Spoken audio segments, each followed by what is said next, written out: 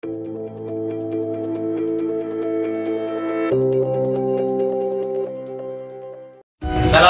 warahmatullahi wabarakatuh.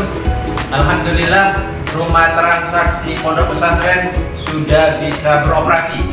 Kita sudah menyediakan minyak goreng.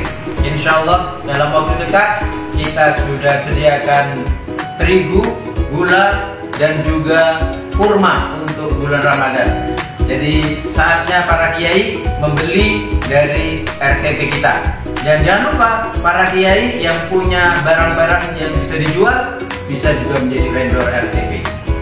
Mari kita bergerak untuk umat. Terima kasih. Assalamualaikum warahmatullahi wabarakatuh.